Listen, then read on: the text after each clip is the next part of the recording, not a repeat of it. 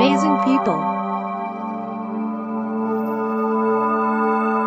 Amazing stories. Amazing films. This is Amazing TV. Hello, I'm Jeremy Vine, and this is Panorama. A very British hero. You know, Oz signed up, but he really didn't sign up to get absolutely hammered as he was on that tour. Are we asking too much of our elite bomb disposal teams in Afghanistan? The IED threat there at the moment is, is just off the scale. Even their boss is worried. I'm very concerned my people that have done phenomenally difficult and dangerous work in Afghanistan you know, may, may pay uh, a deeper psychological price.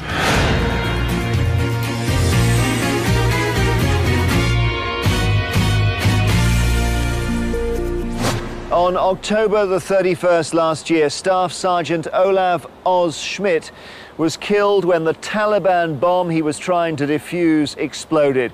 One of four of our top bomb disposal experts to be killed in Afghanistan in little more than a year. With the bomb squad severely under strength, Oz worked for months on end without a break. Now, in this special authored report for Panorama, his widow asks if the army is failing in its duty of care to that tiny elite band of soldiers who are at the very forefront of the war in Afghanistan. On the 29th of October last year, my husband called me from Afghanistan. He was particularly tired. He'd been up for about four days, he hadn't really slept, and he just said, you know, there just aren't enough others. There aren't enough of us and um, I do need a break. And it is too. If it's too long for me, then it's pretty much it's too long for anybody. He'd been out there for over five months and was one of a small and elite band of highly qualified bomb disposal experts. They're the only ones who have the dangerous task of defusing the thousands of homemade bombs or IEDs found in Afghanistan.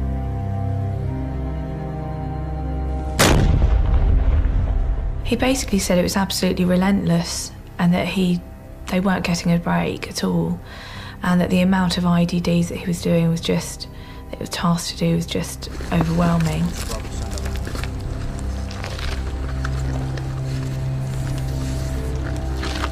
I've already been living rough for five weeks in compounds we clear under the Afghan canopy. Staying alive is like a lottery and patrolling the Afghan Badlands is playing Russian roulette with your feet. Dealing with bombs is the easy bit. It's the getting shot at whilst doing a job that tends to make me run like hell. Oz believed his role was to preserve life at all costs, and he was proud of how many lives he'd saved. Because he's been in since he was 16, he was 30. Um, you can actually see you've got all the different tours that he's done um, Northern Ireland, former Yugoslavia, Kosovo. Um, his last tour in Afghanistan prior to this one.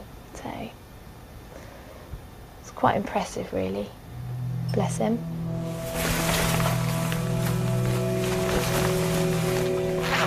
See, uh, demister for my helmet and then a cooling fan for my back as well. All helps in the heat. This is Oz after he'd passed one of the Army's toughest tests to become a high threat IED operator. Already a paracommando, he was one of the best explosive experts in the world. Oz was an outstanding operator. He'd done, he'd done a lot of devices. He was respected by the battle groups. You know, he, he was the man. What no one had anticipated was the sheer number of IEDs Oz and his colleagues were dealing with in Afghanistan our soldiers are three times more likely to be killed by an IED than by gunfire. The threat's massive. When it comes to the physical fighting, the, the, the, the actual the firefights, and that we, we will we will win every time. We, we've got better equipment, we've got better weapons, and our tactics and the way we do stuff is is uh, better tenfold. Um, so the only way they can possibly try and attack us is with the IED threat, and the IED threat there at the moment is is just off the scale. You know, it's um, it's ridiculous how many there are out there. The reality is terrifying. In 2008, the threat from IEDs in Afghanistan grew by 400%. When Oz was on tour in 2009, it rose another 400%. In Helmand alone, 450 IEDs are triggered or are made safe each month. That's 14 every day. He said there still isn't a day that goes by that I don't see an amputee or see people that haven't been involved in, in an explosion and suffered horrendous injury. Another operator had come back in that day and that their team had got, been blown up in the morning. One bloke lost his hearing, two blokes got fragged faces, and another lad lost both his legs above his knees and one arm. So the morale between the youngsters has definitely taken a hit. It was a big motivation for him. Every device that he could render safe, you know, was potentially one more life, one more limb. Um, so it was very important to him. Of all the British soldiers killed or maimed in Afghanistan, seven out of ten are down to IEDs. And it's not just our soldiers. Last year alone, two and a half thousand Afghan civilians were killed or injured by the homemade bombs. Never before have high threat operators been under so much pressure as they take the long, lonely walk to defuse each IED.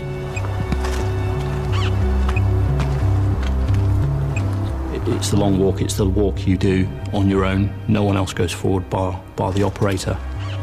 As you head towards the device, you're thinking about the bomb maker himself and you're thinking about the device itself.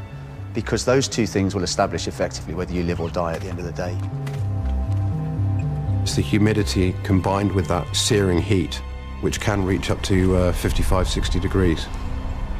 You constantly have sweat pouring off your face. You have dust, you know, a layer of dust on you at all times. Biggest pressure you're under is actually time because there are potentially people's lives relying on it. And there's an added threat. They're targeted by Taliban snipers while they work.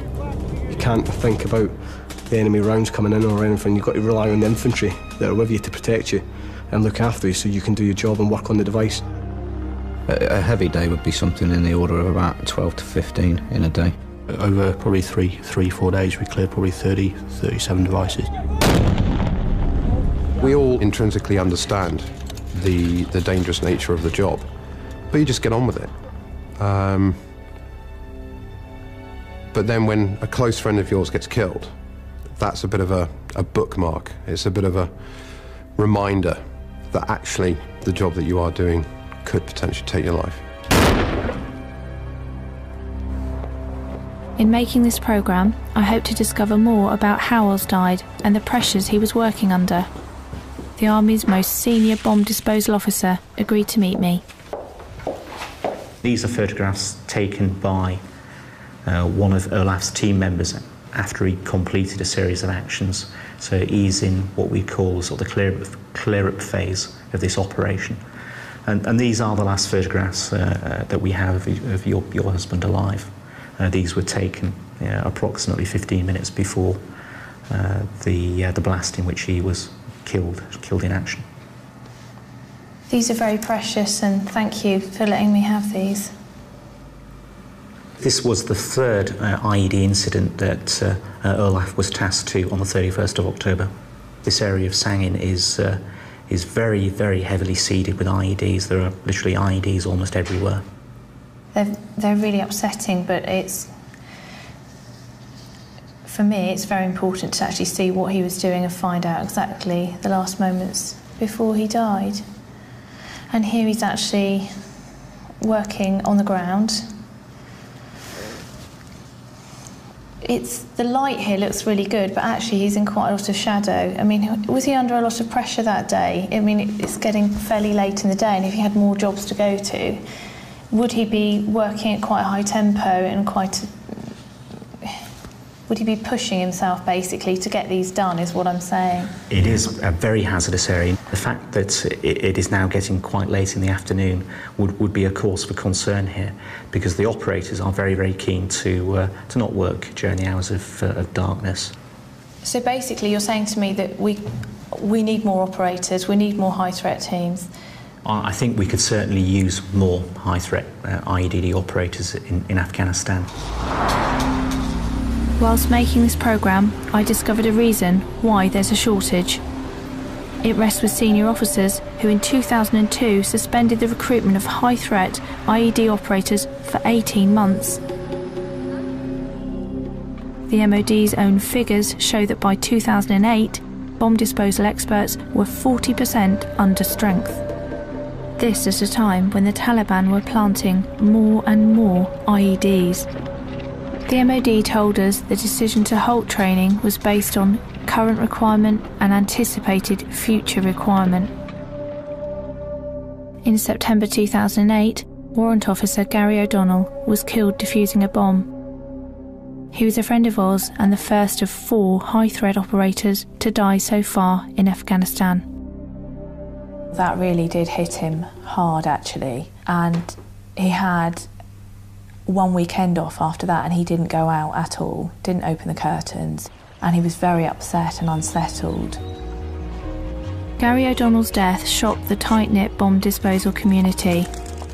Several high threat team members, including close friends of Oz, left, adding to the shortage. It was an accumulation of things, really, why I left. Um, the main one was uh, carrying a friend with Oz off, off a plane in, in, in a coffin, which is just a massive reality check. You know, I mean, we've not lost. After O'Donnell's death, the pressure on the remaining operators intensified. They were fewer in number, yet they were dealing with more and more bombs. I remember doing like um, Northern Ireland where we used to do like six month tours, but we'd actually not get an IED every day. Where these guys now that are operating in uh, in, in, in Afghan, they're, they're getting up to they can get as many as five to ten devices a day, and that's got to take a toll on you. Where now, I think four months is a long time for what they're doing out there, and six months is just It is, isn't it? Without those creature comforts to just kind of recharge a little bit and just step back. Absolutely. It does take a, a massive emotional drain on, on these guys out there.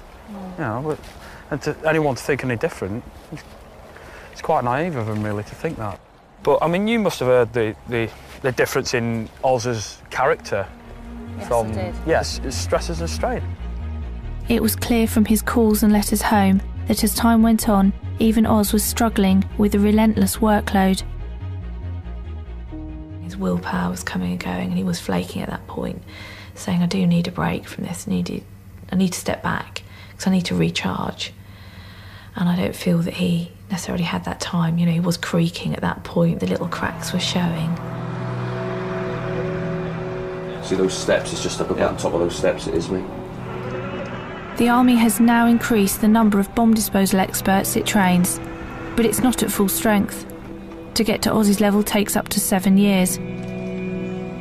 These trainees are having their skills tested for the first time. They've got to be able to uh, think for themselves, analyse situations, read the ground. They've got to be technically astute. They've got to have a good knowledge of explosives, a good kno- knowledge of electronics. They've got to be very clever, really, uh, and that's what we look for in, in our operators. We need to get maximum velocity, bearing in mind that kinetic energy equals half mv squared, v squared being the dominant process in that equation, so the higher the velocity. Trainees who pass learn to defuse bombs in the most demanding environments.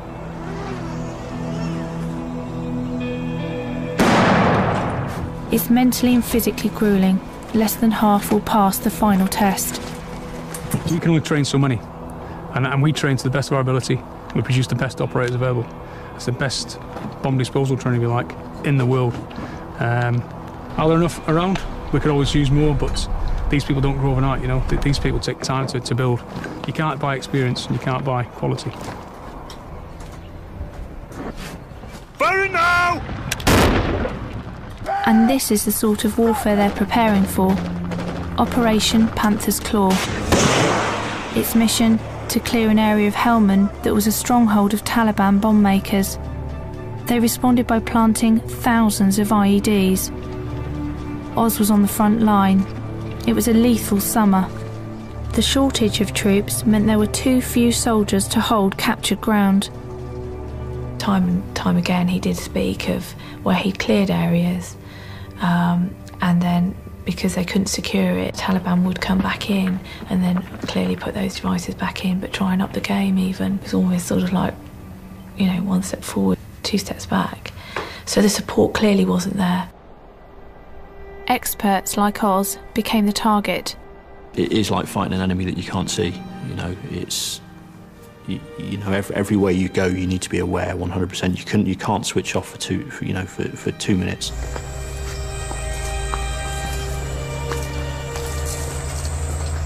When you're dealing with a task, you're most likely being watched. They're watching what you're doing, how you're responding, and looking for ways to target you in the future. Psychologically, you just got to get on with it. You know, it's just um, it's our job.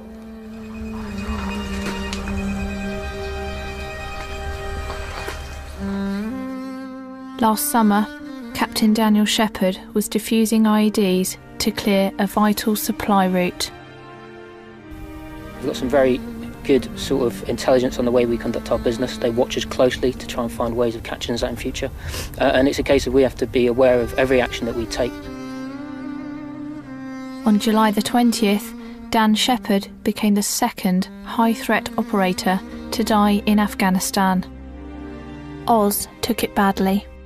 When Dan Shepherd died, he was in bits. And he said, Why me and not him? You know, and he felt this almost guilt, you know, this couldn't kind of work it out in his own head, you know. He just said it's like a Russian roulette, really, isn't it? And the odds then became, he said, it's it's getting now I see it's 50-50. I either live or die when I do a, uh, a device. In March, I travelled to meet Dan's family for the first time. I'm not nervous about meeting them.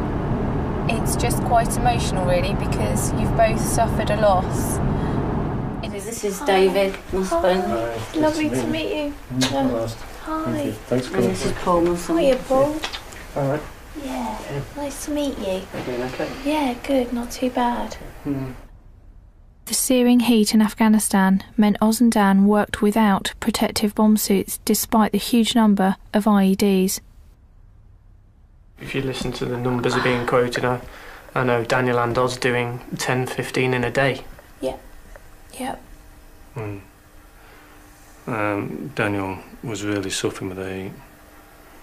But um, And that's why they can't necessarily wear a bomb suit. Absolutely. I think some people Yeah, think, well, I why mean, is he not? I'm sure you've gone My friends and family said, well, why is he not wearing Mm. a bomb suit? But Yeah. actually, Tell them Yeah. to try and put one on.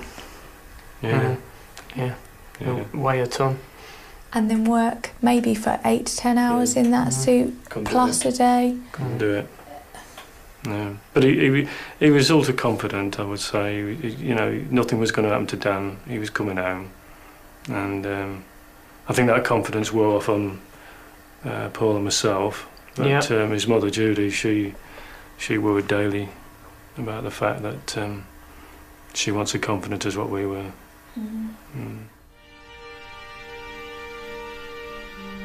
After Dan's death, Oz wrote a letter for his family. It's certainly been a great comfort to us uh, receiving this letter. It's been uh, really has. It certainly was held in high regard. Yeah. I like the piece. Can I?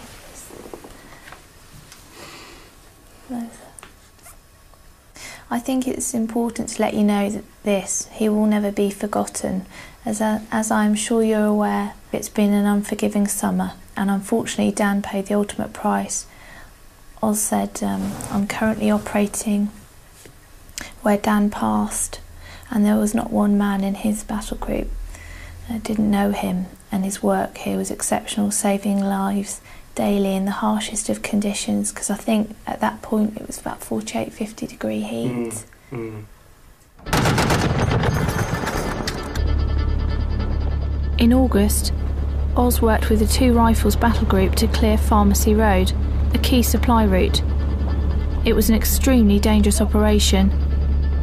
Two booby trap vehicles blocked the road, and the narrow alleyways around were littered with IEDs. The heat was particularly tough, I think, quite grueling. I know he's tired because I can. Just, you just know when you know somebody, and you can just see it, see it in his face. In just 24 hours, Oz cleared 31 bombs, often by fingertip search. Pharmacy Road was reopened. Even now, it's just they're just really, really hard to look at. Really hard to look at. But there was no let up for Oz. He went from one task to another. Oz said the lack of helicopters and poorly equipped vehicles made his job more difficult and dangerous. While most soldiers would return for breaks to Bastion, the main camp, Oz didn't. He just felt that he didn't have that regu- those regular breaks, and there wasn't anybody there kind of letting him off the hook. There was nobody there thinking bigger picture. Colonel Stuart Tootal commanded 3 Para Regiment during some of the fiercest fighting in Helmand. He resigned from the army in 2007 after voicing concerns about the welfare of his soldiers.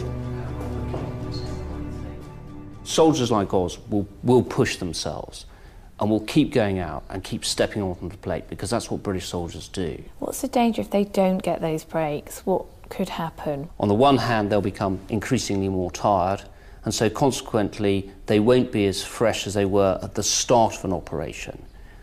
Their performance could degrade, uh, they'll be less alert, and they might miss things.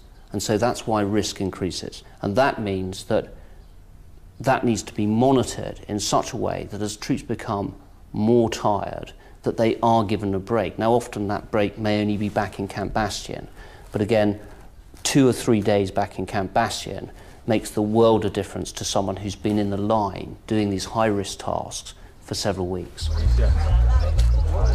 The Army has guidelines about rest breaks and length of tours, but admits they've been broken at times. They told us they are now taking steps to address the situation. I question whether the Ministry of Defence is fulfilling its duty of care to soldiers like Oz. Its own research shows that fewer breaks leave soldiers more susceptible to combat stress and PTSD. Even the Army's most senior bomb disposal officer is worried.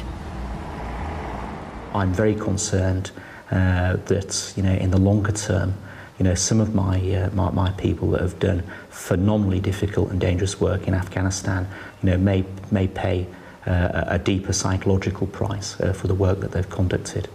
We're about to kick off a, a more detailed study looking at the psych psychological impact of these operations because we've got a duty of care. You know, we owe it to, to, to these people to do the best we can. By late October, Oz had still not had a rest break. He'd diffused hundreds of IEDs. 72 hours before he was due to come home, he called me.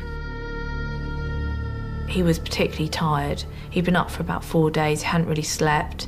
He just said, You know, I, can't wait for Saturday. When I get off that plane, I just, you are definitely going to pick us up, aren't you? That's all I want to see is just you. When I get off that plane, that is all I want. That's the only thing that I've got in my mind. I had a bad feeling after that call. It was the last time I ever heard his voice. I heard the knock on the door that is directly below the window of, of, of my bedroom and uh, looked down and saw and, and saw two um, guys in green kit with um, green lids. "Oh God, no!" You know, God. And um, that's when I knew. I absolutely, physically knew for sure that he was dead. I just can't. I just I can't get past that. Literally at the 11th hour, at the very last job, I really thought we were home free. Instead of celebrating his safe return, I was in Wootton Bassett, keeping a promise I'd made to my husband. I remember having the conversation with Oz when he phoned me up really late at night after it and said, you know, you better be there when I'm there. And he said, I hope that I don't, I don't want my wife standing there, um, you know, in bits on the floor. I want you to be absolutely proud of me and know, you know, how hard I've worked. And I want you to be able to stand there and be appreciative and, and show your love for me and be as positive as you can about what I've achieved and what I've done. Oz lived and stood for something he believed in. And in the end, he paid the ultimate sacrifice for those beliefs. The high threat IED operators are few in number but are of vital importance in Afghanistan, where IEDs are the first line of attack. Last October, Oz's close friend, Captain Daniel Read, was injured in a bomb blast which killed a member of his team. In spite of those injuries, he rejoined his team in December. In January, Dan was killed defusing a device. He was the fourth elite bomb disposal expert to die within 15 months. A fifth survived but had both legs blown off. While I've been making this programme, a senior military officer has told us that at the start of the war in Afghanistan, only limited consideration was given to the threat of IEDs. He said they were not thought to be an immediate problem. The MOD told us it could not reasonably have been expected to predict the surge in the use of IEDs.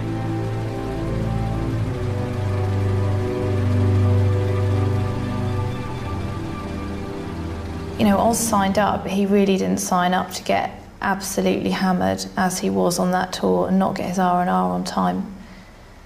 And I feel slightly shortchanged because he signed up, but he didn't sign up for that, and I didn't. I'm very concerned, you know, as their head of trade, of the, of the, of the pressures that they are facing uh, in Afghanistan. We are seeking now to, uh, to bring people back into high threat IEDD operations uh, that have been out for some time. We are looking at more senior officers becoming involved in this. We've broadened our training and selection, uh, but it will take some time before uh, the, these measures can come into play. And what it does mean is it means the existing cohorts are going to be under pressure. Uh, I'm very concerned about that. In March, the special bravery demanded of the bomb disposal team was publicly recognised. I was there to receive Oz's George Cross citation. Captain Daniel Shepherd was awarded the George Medal, and collecting his George Cross citation in person was Staff Sergeant Kim Hughes. I think it it really does send a clear message that they are exceptional, exceptional operators, and um, certainly they definitely went beyond the call of duty.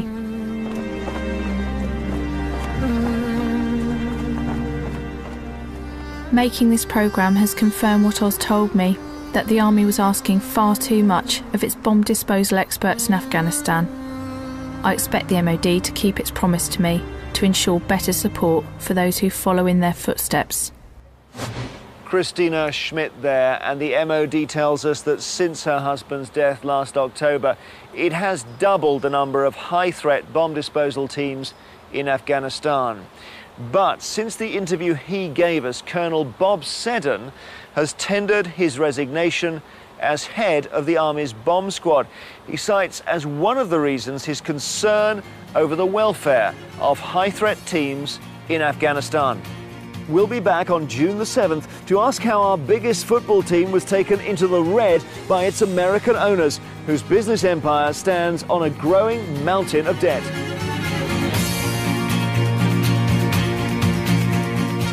Next year on BBC One and the BBC HD channel, The Business of Fashion with Jo Malone, living more high street dreams.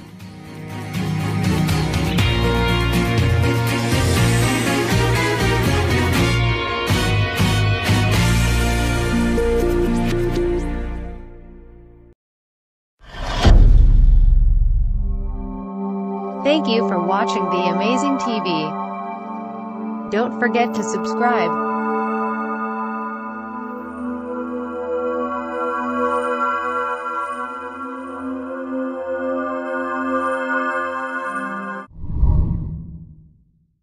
Deeper psychological price.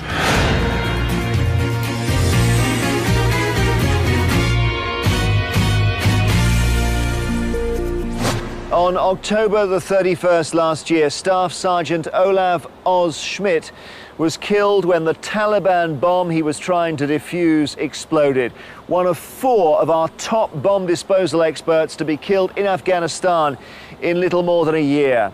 With the bomb squad severely under strength, Oz worked for months on end without a break. Now, in this special authored report for Panorama, his widow asks if the army is failing in its duty of care to that tiny elite band of soldiers who are at the very forefront of the war in Afghanistan. On the 29th of October last year, my husband called me from Afghanistan. He was particularly tired. He'd been up for. See, uh, demister for my helmet and then a cooling fan for my back as well. All helps in the heat. This is Oz after he'd passed one of the Army's toughest tests to become a high threat IED operator. Already a paracommando, he was one of the best explosive experts in the world. Oz was an outstanding operator. He'd done, he'd done a lot of devices. He was respected by the battle groups. You know, he, he was the man. What no one had anticipated was the sheer number of IEDs Oz and his colleagues were dealing with in Afghanistan our soldiers are three times more likely to be killed by an IED than by gunfire. The threat's massive. When it comes to the physical fighting, the, the, the, the actual the firefights, and that we, we will we will win every time. We, we've got better equipment, we've got better weapons, and our tactics and the way we do.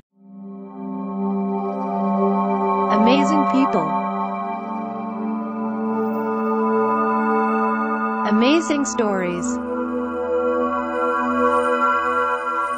Amazing films. This is amazing TV. Hello, I'm Jeremy Vine, and this is Panorama. A very British hero. You know, Oz signed up, but he really didn't sign up to get absolutely hammered as he was on that tour. Are we asking too much of our elite bomb disposal teams in Afghanistan? The IED threat there at the moment is, is just off the scale. Even their boss is worried. I'm very concerned my people that have done phenomenally difficult and dangerous work in Afghanistan you know, may, may pay uh, a We've already been living rough for five weeks in compounds we clear under the Afghan canopy. Staying alive is like a lottery, and patrolling the Afghan badlands is playing Russian roulette with your feet. Dealing with bombs is the easy bit. It's the getting shot at whilst doing a job that tends to make me run like hell. Oz believed his role was to preserve life at all costs, and he was proud of how many lives he'd saved. Because he's been in since he was 16, he was 30. Um, you can actually see you've got all the different tools that he's done um, Northern Ireland, former Yugoslavia, Kosovo. Um, his last tour in Afghanistan prior to this one. So it's quite impressive, really. Bless him.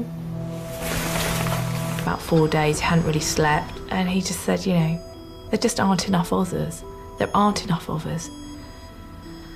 And um, I do need a break, and it is too. If it's too long for me, then it's pretty much it's too long for anybody. He'd been out there for over five months and was one of a small and elite band of highly qualified bomb disposal experts. They're the only ones who have the dangerous task of defusing the thousands of homemade bombs or IEDs found in Afghanistan.